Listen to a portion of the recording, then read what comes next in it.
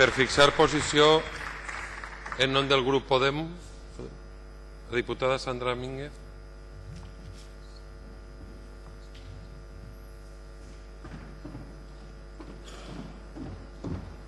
Per a l'explicació de vot, millor dit.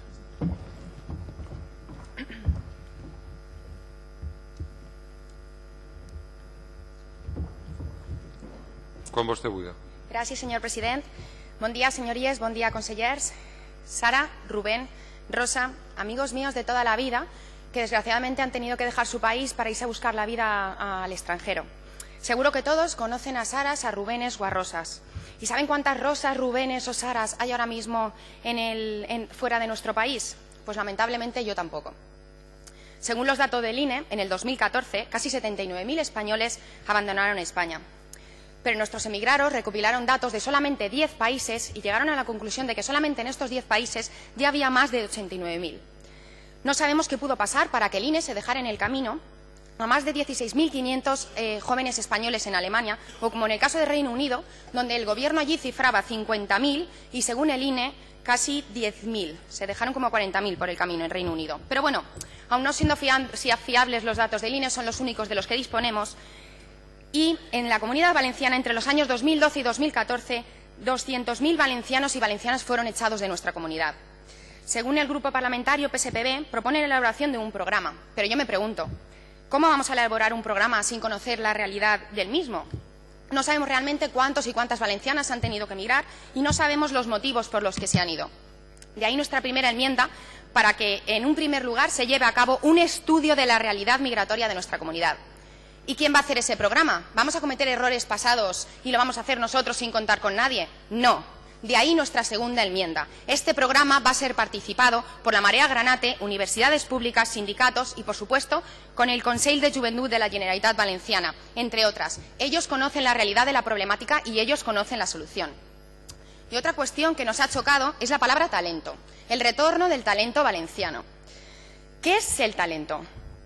Eh, si tienes estudios superiores, entonces tienes talento. Si tienes una carrera y un máster, eres doblemente talentoso. Desde nuestro grupo parlamentario no nos gustan los elitismos. Vivimos en una sociedad plural y así es la realidad de nuestros emigrados. E igual derecho tienen de, regresar aquellas personas que tienen una carrera, dos másters y tres idiomas que aquellas que solamente tienen el título de educación obligatoria. En este estudio todas tienen cabida, en este tu- estudio todas van a tener cabida, independientemente de su formación académica. Los últimos gobiernos nos han convertido en la playa de Europa. La salida de la crisis del Partido Popular pasa por reducir costes. La reforma laboral del año 2012 y el Plan eh, General de Juventud han abierto una nueva fase de precariedad y temporalidad juvenil sin solucionar el problema del paro. Y mientras tanto, seguían no invirtiendo en, en innovación. Rajoy ahora mismo a los jóvenes nos ofrece tres únicas opciones. Paro, precariedad y temporalidad o exilio. Estas son las únicas opciones que tenemos hoy en día. ¿Nos hemos preguntado por qué se han ido nuestros jóvenes? Porque en el, modelo productivo actu- actual no tenemos cabida. Porque en nuestra comunidad no vamos a permitir que nuestros jóvenes sean los camareros de los países del norte de Europa, con todo mi respeto hacia este colectivo. No vamos a permitir que se deje de invertir en investigación ni en innovación. No se puede gobernar contra los jóvenes. El presente del Partido Popular nos está asfixiando y son y somos el futuro. Pero esto se ha acabado y ahora vamos a competir por arriba y no por abajo como nos estáis obligando a hacer. ¿Saben qué estábamos haciendo todas y todos el 31 de julio?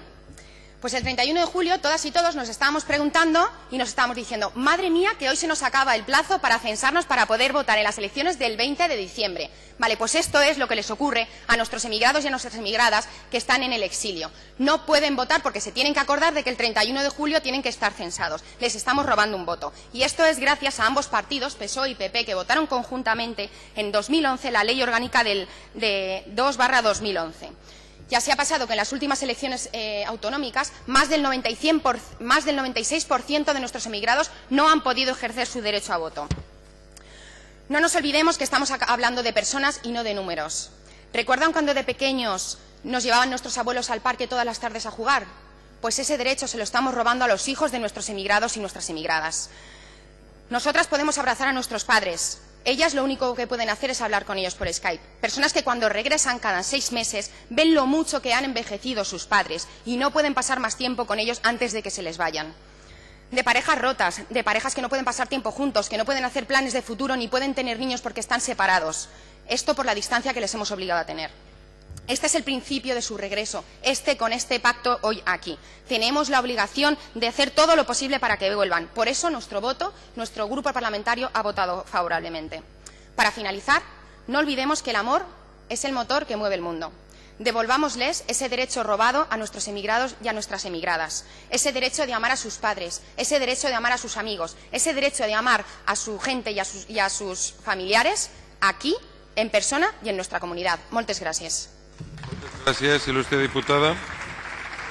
Per a l'explicació de vot